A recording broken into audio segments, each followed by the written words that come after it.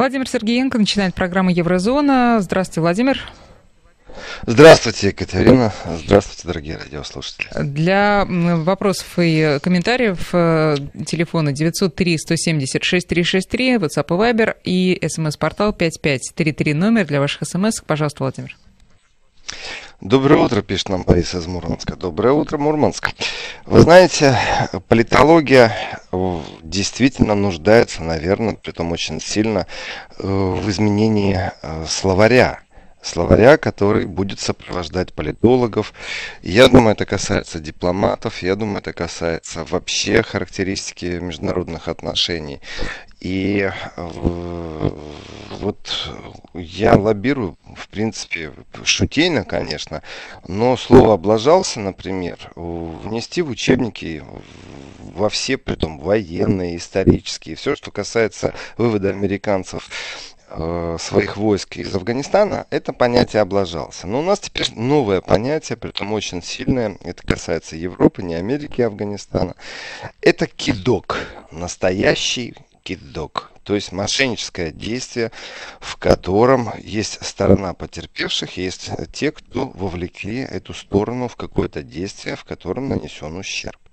Кидок политический, притом мощнейший. Притом я вообще сказал еще, вы знаете, что это кидок такой есть э, э, среди всяких э, проходимцев, плутов, мошенников, э, ремеслов. Но он достаточно в уголовном мире достаточно низко. Это кидок на доверие.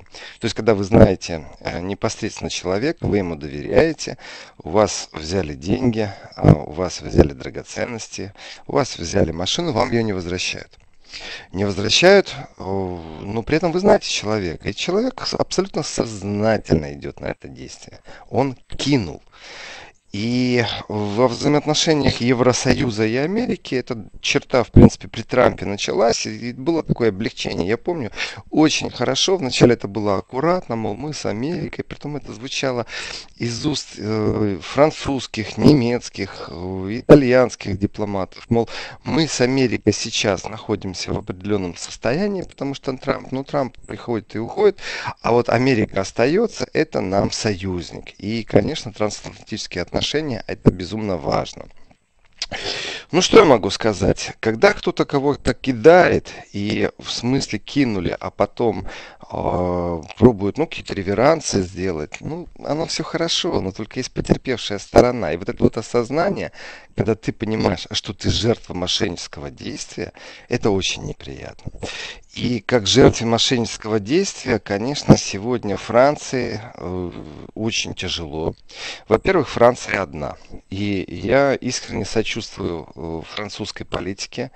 Я искренне сочувствую французским разведчикам я искренне сочувствую французским аналитикам, французским политологам, потому что даже неделю назад никто не мог представить, что Франция отозвет своего посла из Соединенных Штатов Америки. Это безумно больно, это безумно обидно, это унизительно в конце концов. То, что сделали Соединенные Штаты Америки с Францией, это низко. Низко, потому что э, среди партнеров в Евросоюзе Франция это страна, которая э, имеет ядерное оружие. Франция страна, которая имеет возможность э, наложения вето э, в Совбезе ООН. И, конечно, Франция это еще и э, ну, глобальный игрок европространства, с которым нужно считаться. И в этом пространстве поступок Соединенных Штатов Америки, это даже уже неплохая там или хорошая мина при отвратительной игре. Это мошенническое действие. Америка начала свое мошенническое действие, когда вышла из э, разговора с Ираном по ядерному оружию. И, в принципе, декларация о том, что Израиль является одним из самых важных, самых э, близких союзников Соединенных Штатов Америки на Ближнем Востоке, и, мол, например, выборы там, э, мэра Нью-Йорка, это очень важно, и э, в этой важности играет роль еврейская община города Нью-Йорка, вы знаете, я думаю, что и Израиль кинут теперь. Потому что все это глобально, это новая манера поведения, новая манера поведения, которая связана с внешней политикой. И э, вдумайтесь, одна из стран НАТО отзывает, причем это действительно союзники, близкие союзники, отзывает своего посла из а, Соединенных Штатов Америки. Жесть. Вот я говорю, что это кинули, потому что это кинули. Других слов нету.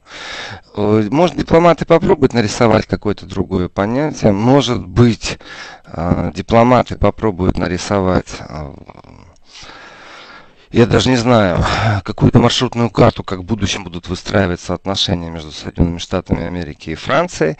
Э, но сейчас начнется давление, именно французское давление на Евросоюз. Ну, Владимир, ну, если... я вас вынуждена прерва... прервать, потому что не очень хороший звук у нас, и вот э, техники... Давайте перезагрузимся. Те... Тогда. Э, техники советуют вам опустить чуть ниже уровень звука и подальше от микрофона быть, и должно все наладиться. Вот если вы это сможете оперативно сделать, то все будет хорошо. Так, сейчас лучше? Ну, сейчас попробуем, давайте дальше. Те, те, техники, техники это наше все. Э, вот. И я смотрю не только техники, я смотрю, вот нам пишут и наши радиослушатели подальше от микрофона. Ну, у меня микрофон стабильно находится на одном расстоянии. Ну, значит, уровень звука надо понизить. Специальные просто. наушники такие, которые надеты. И э, я помню, такие наушники, кстати, первый раз увидел на гонке Формуле 1. Ну, надеюсь, мы поедем сейчас посторон... пошустрее, да. И звук почище. Посторонний звук, если есть, да, если посторонний звук есть, чтобы в любом случае, чтобы э, звук комментатора был сильным. Я думаю, это не связано с наушниками, я думаю, это не связано с расстоянием микрофона, оно всегда одинаковое. Я думаю, это связано все-таки с интернетом. И, кстати, жду не дождусь информации, когда нам расскажут какое-то количество атак было со стороны непонятно кого. Но я надеюсь, что эти атаки будут э, э, с буквами на английском языке. А то вы знаете, когда атаки из России на кого, атаки простите? приписывают. На нас? Вообще на интернет, на трафик, да, конечно. На трафик, на интернет. При том, что не только только СМИ будут атакованы, я думаю, что практически весь интернет должен быть атакован. Серьезно. Э, я не иронизирую сейчас, потому что когда э, западные партнеры, как их в прошлом называли, говорили о том, что из России идет DOS-атака, э, то это привязывалось к тому, что там слова были на русском языке, или там пару букв кириллицы были. То есть человек пишет, пишет по-английски, там программу, потом бах, и три буквы вставил из кириллицы, все, значит, из России. Вот я думаю, там сейчас буквы будут на английском. Так вот, Франция отзывает своих послов из Соединенных Штатов Америки и Австралии. Франция восприняла абсолютно как недружественный шаг Соединенных Штатов Америки и, конечно же, Австралии. И э, заявление из Америки э, о том, что да, они там сейчас начнут разбираться, начнут разговор какой-то вести, э, это все хорошо, но это потом. Это потом. А вот сейчас, а вот сегодня Франция немедленно отзывает для консультации своих послов из Соединенных Штатов Америки. Я не просто так сказал о э, аналитиках, я не просто так сказал о разведсообществе. Э, и, в принципе, я даже представляю, как сейчас французские делегаты, разницы нету в каком институте европейском, это будет Европарламент, это будет ПАСЕ, это будет ОБСЕ, сейчас развернут полностью свои паруса и пойдут под другим ветром. Ну что, дорогие э, французы, э, тяжело, неприятно, я вам искренне сочувствую. Это, конечно, мерзко, когда вас э, вот так вот кидают ваши близкие партнеры. И теперь четко и очевидно, ясно, что разницы нет. Трамп или Байден, Америка остается Америкой. Америка остается Америкой и позволяет себе недружественные шаги по отношению к своим партнерам. Когда Америка вышла из переговоров по Ирану, почему я говорю об Израиле, почему я говорю об опасности? Потому что нет гарантии, что Америка вообще, то, что она декларировала в прошлых сезонах, в позапрошлых даже можно сказать, что это останется как э, действительно какая-то э, сверхдержава, которая гарантирует кому-то безопасность. Это сверхдержава, которая просто умеет держать слово. Это сверхдержава, которая по отношению к своим союзникам, э, ну, по крайней мере, честна. Если взять опыт Америки за последние годы, то это примерно так. Развязанные войны, развязанные революции, развязанное смещение правительств, э,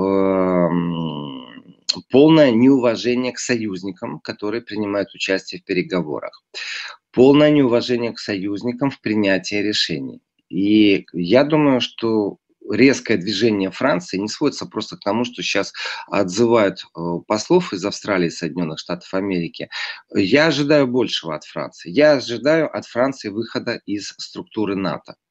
Это уже было, Франция выходила из НАТО, вышла, зашла. Я думаю, что в, в, в том контексте, в котором сегодня существует НАТО, это абсолютно подамериканский проект, который направлен в любом случае не на оборону, в любом случае направлен на конфронтацию и ну, зачастую даже на военное присутствие в виде конкретных бомбардировок, при которых покидают дети. Мы это видели на этой неделе.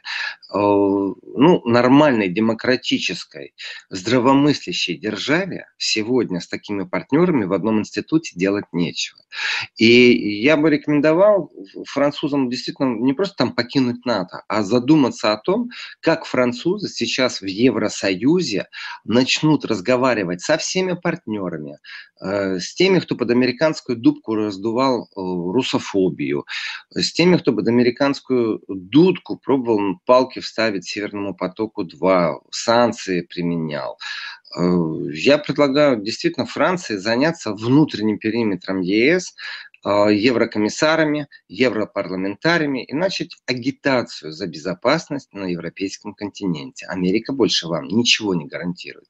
Америка э, заключила за вашими плечами, за вашей спиной договор с Австралией. Притом согласитесь, что когда разговор идет там даже о двух судах, ну, вспомним, пожалуйста, это Мистрали, это Франция вдруг решила, что она не будет с Россией взаимодействовать, и вертолетоносцы не будут в России предоставлены, неизвестно, куда их деть. Это было сделано под давлением Соединенных Штатов Америки. Давайте по-честному. Точно так же давайте по-честному, что сегодня, когда Америка за спиной, э, я бы сказал, подло, подло, вот, э, заключает договор, перетягивает на себя э, с Австралией договор о постройке подводных лодок, это пощечина, это плевок, это унизительно, это пендель. Любое слово, которое вы знаете, оскорбляющее другого человека, это неравноправие в любом случае. И даже если даже если вдруг в будущем Америка извинится, но факт остается фактом. Может быть, Америка сейчас придумает формулу и пригласит Францию, например, установить э, какие-нибудь флагштоки или, например, сделать ручки какие-нибудь для открывания и закрывания этих подводных лодок, но контракт на миллиарды уведен. И такие контракты, конечно, не делаются за две минуты, тем более они не делаются дистанционно, тем более они не делаются, когда президент Соединенных Штатов Америки даже не знает, как обратиться к премьер-министру Австралии, и говорит, ну парень, вон, вон, вон тот парень, вот тот, э, с того края, с того конца. Все это, может быть, было бы смешно, но у нас постпандемическое пространство, у нас постпандемическое время. Экономики хромают, очень сильно хромают. И я, конечно же, пройдусь очень подробно по европарламентской резолюции и считаю, что это все вот отголоски панамериканского соприкосновения э, э, с политиком, который существует сегодня в Евросоюзе. Но Франция – это не, лакмая, не, не лакмусовая бумажка. Франция – это страна со своими обычаями.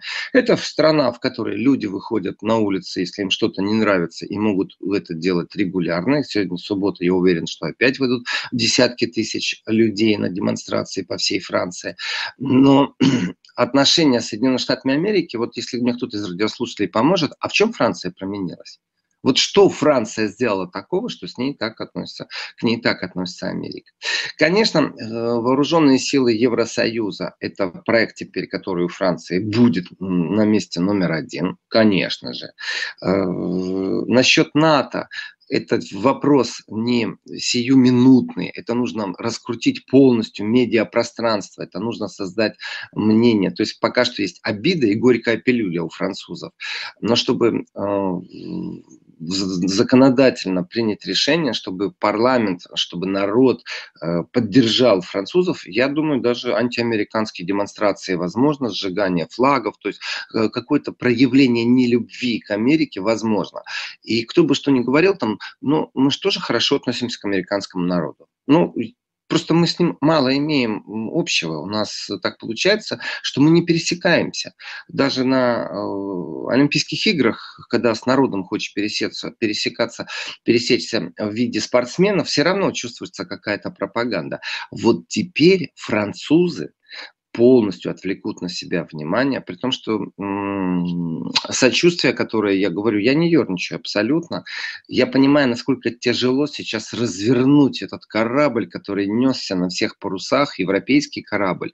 Нужно обязательно в этот э, корабль дождаться там недельку, когда выборы в Германии закончатся, и с новыми силами теперь абсолютно четко позиционировать Евросоюз не как э, э, младшего партнера, не как подростка в коротких штанишках, а как взрослый институт, взрослое объединение государств, а там есть все, что угодно, там есть и Польша, там есть и страны Балтии, в которых э, американские настроения являются чуть ли не фанатичными, и э, Франция, сталкиваясь сейчас с теми задачами, которые нужно в ближайшее время, вот прямо оперативно решать, это э, собственная суверенность, это выстраивание внутри Евросоюза экстраординарной политики, которая должна быть направлена вроде бы как на укрепление внутри Евросоюза, но это будет антиамериканская политика, это само собой уже разумеется. Фактов слишком много накоплено.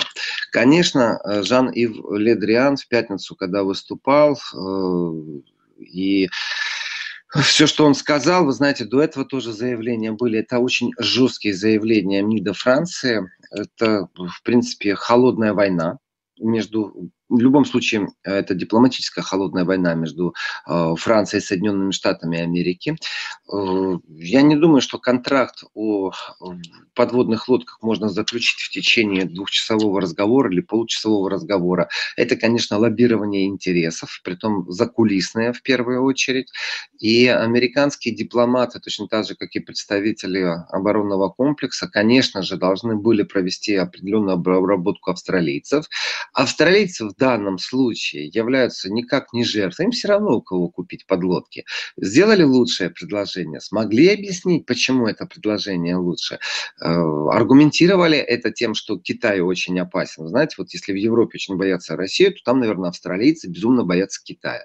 Ну, прям так боятся, как будто Китай завтра нападет на Австралию, на Новую Зеландию, поэтому э, история с подводными лодками, которые теперь Австралия заказывает у Америки, между прочим, многомиллиардный, многомиллиардный контракт, э, и Франция же тоже нуждается в поддержке своей экономики. Франция просто нуждается в контрактах на свое оборудование. И вы знаете, честно скажу, вот понятие злорадствовать, вроде бы оно такое неправильное. А мне хочется сказать, а вы, французы, когда э, взяли и кинули Российскую Федерацию с кораблями, вы о чем думали? Вот это называется политический бумеранг. Э, за что боролись, за то и напоролись. И я, когда говорю, я сочувствую, вы знаете, э, ну мы же предупреждаем наших партнеров в Европе регулярно, что нельзя Соединенным Штатам Америки доверять, что они непредсказуемы в своих шагах, они непредсказуемы в своей внешней политике. Соответственно, нам же никто не верит. Ну вот э, даже наоборот пробуют как-то навредить, рассказать о том, что есть пропаганда со стороны Российской Федерации. Э, а теперь не до пропаганды. Теперь мост разрушен между Францией и Соединенными Штатами Америки. Этот мост в ближайшее время точно не выстроить, потому что я не вижу даже, как Америка могла бы втянуть, там сказать, ну ладно, давайте там пять лодок вы строите, пять лодок мы, и тогда, ну, как бы вернемся. Э, Франция э, отказалась от совместного празднования э, в Соединенных Штатах Америки, там есть у них битва, которая была в 1781 году. Вот честно говорю, я мало что знаю об этой битве, я просто знаю, что э, первый шаг был все-таки это отказаться от совместного празднования. То есть Америка и Франция, э, там даже генерал французский, который полетел в Соединенные Штаты Америки, он приземлился и тут же назад полетел. Потому что обида внешнеполитическая Франция, она э, не в праздниках заключается, она в пересмотре всего свода, вот всех взаимоотношений, которые есть с океанским партнером. Франция и так была строптива всегда в этих отношениях. И вспомните, может быть, кадры, когда Трамп э, отряхивал Макрона и пылинку какую-то несуществующую снял с его пиджака. Ну, такой дружеский жест. Но на самом деле, если очень хорошо посмотреть, там жест был не дружеский, а эдакое высокомерие, мол, э, даже с покровительством. И французы точно так же владеют жестами и артикуляцией, похлапывание по щеке, похлапывание по плечу. Это все э, видно. И как бы СМИ французские, европейские не пробовали бы сейчас замолчать определенных фактов, то есть, конечно, выгодно против России что-то говорить. Ну, дорожка-то изъезженная, всем понятно, что загрузить на эти вагончики антироссийские и как можно это раскручивать. А сейчас, представляете, вот все поменять нужно. Редакционную политику, политический умысел, вот внешнюю политику. Э, внутри Франции пересмотр сейчас всего трансатлантического партнерства – это, во-первых, тяжелая работа. Это безумно тяжелая работа.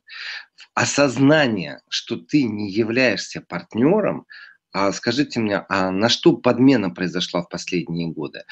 Э, я знаю очень хорошо практически топовые СМИ Германии, топовые СМИ Австрии.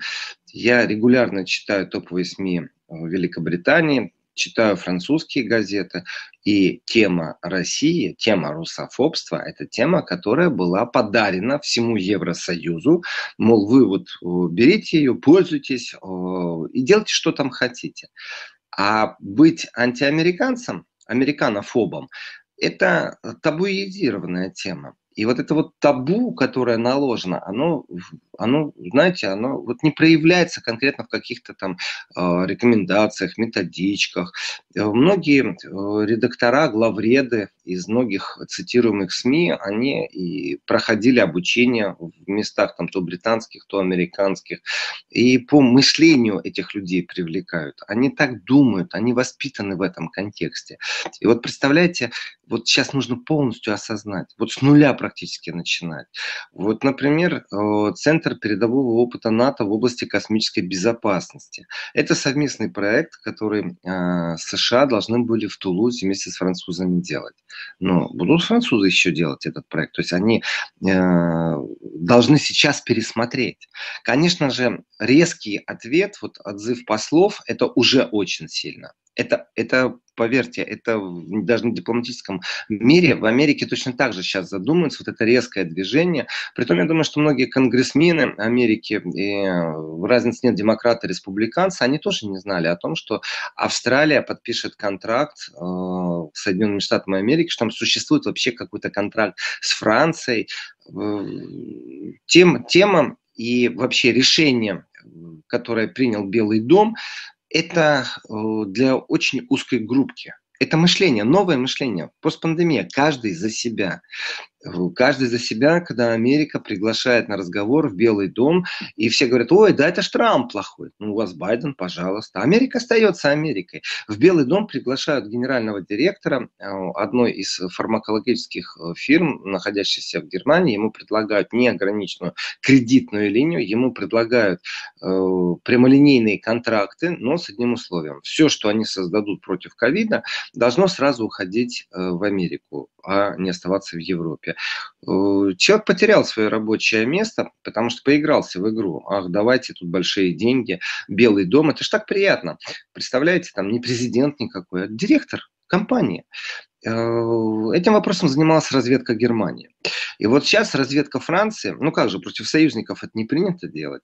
Есть проблемы в Афганистане, Ой, а кстати, а кто же начал эту проблему в Афганистане? М? А французы принимали участие в бомбардировке Югославии? Ну, тоже такой вопрос очень сильный. И э, Франция выходила из НАТО выходила, но тем не менее оставалась, потому что это союзники.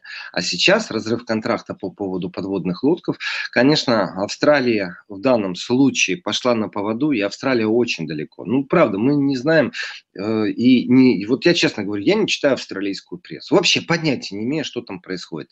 Догадываюсь, что там люди ходят по отношению к нам вниз головой, то есть мы вверх головой, а не вниз головой.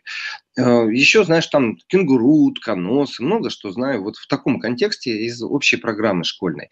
Но с точки зрения политики, э, время от времени э, Австралия себя декларировала как член Содружества с Великобританией. Не знаю, насколько британцы участвовали в этих переговорах, имеют ли они отношения. Но получается так, что Франция нелюбимый ребенок если брать такие семейные отношения, накладывать их на политику.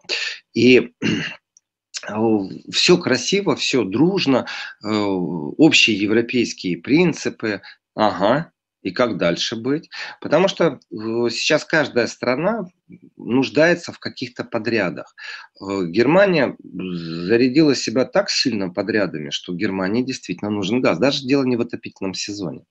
А просто в контрактах, которые сегодня имеет германская промышленность. Франция тоже, ну, знаете, так, 12 подлодок построит. Это достаточно сильный контракт. И э, Скотт Моррисон, это премьер-министр Австралии, и, кстати, вся команда Байдена, напишите ему там титрами, это не парень с той стороны, а это все-таки э, премьер-министр, и если в Википедии можно найти в течение там, 30 секунд, вот мне нужно примерно столько времени, чтобы набрать премьер-министр Австралии, то представляете, какая команда сегодня у Байдена? И вообще, как они взаимоотношения выстраиваются с дружескими государствами. А контракт, между прочим, на 65,9 миллиардов долларов. Это мощный контракт. Э, я вчера принимал участие в дискуссии по поводу номинальных денег, то есть которые напечатаны и для стабилизации какой-то страны привозятся. Ну, то есть много-много-много-много контейнеров привозят, когда инфляция зашкаливающая. Э, есть доллары, например, в африканских странах, которые там примерно миллиарды долларов, это за 100 долларов американских меняли. Такое тоже было. И когда это для стабилизации, это просто ответственность, это напечатали бумагу, отправили. Когда же это разговор идет о живых деньгах по подряду, 65 миллиардов, это очень серьезно серьезные деньги. Это прямые деньги, это рабочие места. И под эти рабочие места, под эти проекты, конечно, Франция э, четко планировала в том числе и свой бюджет. Соответственно, этих 12 подводных лодок, которые ушли в Америку, я говорю о том, что переговоры, конечно же, не были получасовыми, это лоббирование интересов. Это э, говорит о том, насколько в Америке сильны действительно сильны, вдумайтесь, э, те лоббисты, которые представляют военно-промышленный комплекс Соединенных Штатов. То есть они даже смогли убедить Белый дом в том, что плевать на Францию, главное, чтобы подряд был у нас. Э, я категорически в такой ситуации против, чтобы ВПК были не государственными, потому что э, люди за наживы, наверное, выстраиваются в очередь, и в этой очереди они прибегают к разным уловкам. Соответственно, Жан Фледриан, у меня вот открыто его заявление, непосредственно то, что написано на французском языке, официальное заявление, и э, ну, очень простой. В общем, Макрон сказал Жан-Ив Ледриану, что нужно что-то сделать. Все-таки они оценивают, они в данном случае французы, это ударом в спину. Э, они ждут разъяснений со стороны Австралии, а также Соединенных Штатов Америки. Давайте так, все-таки не с э, голове никто не приставил двухстволку, и никто не говорил австралийцам, чтобы они подписали этот контракт. Они могли, конечно же, американцам отказать, если бы хотели если бы хотели. Конечно, никто не предвидел срыва этого контракта. Контракт был заключен в 2016 году, и, конечно, это унизительно, абсолютно унизительно. Соответственно, дальнейшие действия Франции, вот если осознать, что Францию ждет в будущем, я смотрю, некоторые радиослушатели говорят, мол, Франция не покинет НАТО. Франция покидала НАТО, и новая будущая политика Франции в Евросоюзе, это должна быть суверенная оборонная политика именно Евросоюза под патронажем, наверное, больше не Соединенных Штатов Америки. А вы знаете, регион, вот, тот Тихоокеанский, там, где Австралия, там, где Китай, вот нам кажется, что это все далеко от нас. Когда я слышу в новостной ленте, я смотрю, как реагируют, например, на запуск ракет Северной Кореи европейцы, то всегда есть ощущение, что это далеко всегда ощущение, что это не наша игра, где-то она там находится. Ну, это для европейцев так. Потому что э, Россия в своих территориальных размерах это сколько Европ. Если взять Бельгию, то Бельгию действительно не интересуют проблемы э, Северной Кореи. Но если нужно будет проголосовать, конечно же, с точки зрения гуманизма проголосуют за что-то там в Европарламенте, примут какую-нибудь резолюцию. Э, но если человек не просто гуманист, если человек политик и выстраивает определенную линию, в Брюсселе ярко выражено есть желание иметь единую политику Евросоюза. И чтобы эта единая политика, чтобы не было, например, двусторонних отношений Берлин-Москва, чтобы это было всегда через э, Брюссель. Но в данном случае, э, я думаю, у Франции обида настолько сильна, что я ожидаю даже резких движений из Франции. Конечно, Франция не покинет Евросоюз, но инициация разговора теперь любой партнер французский э, в любой дискуссии скажет, да, вы просто обижены, да, вы не понимаете, да, ну, ну это бизнес, это ничего личного.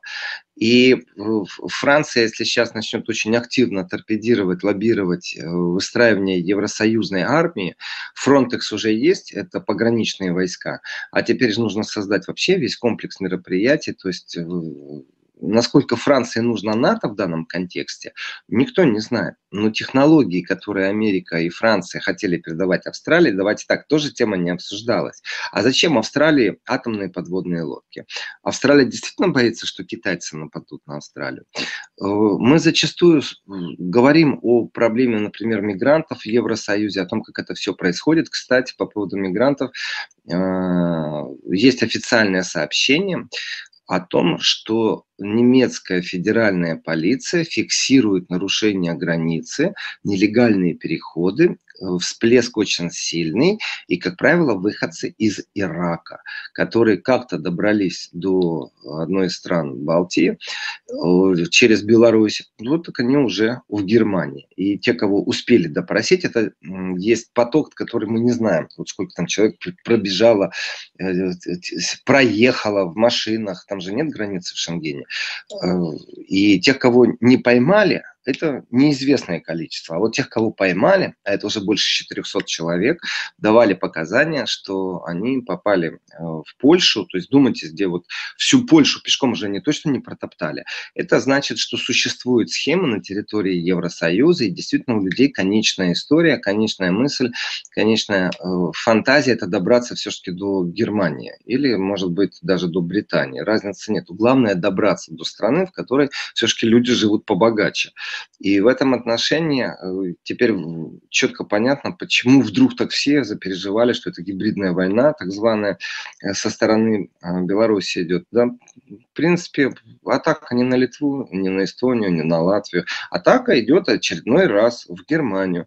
Ну, что там, товарищи политики, мультикульти выстраивать дальше будем? Мультикультуральное пространство, которое полностью потерпело крах.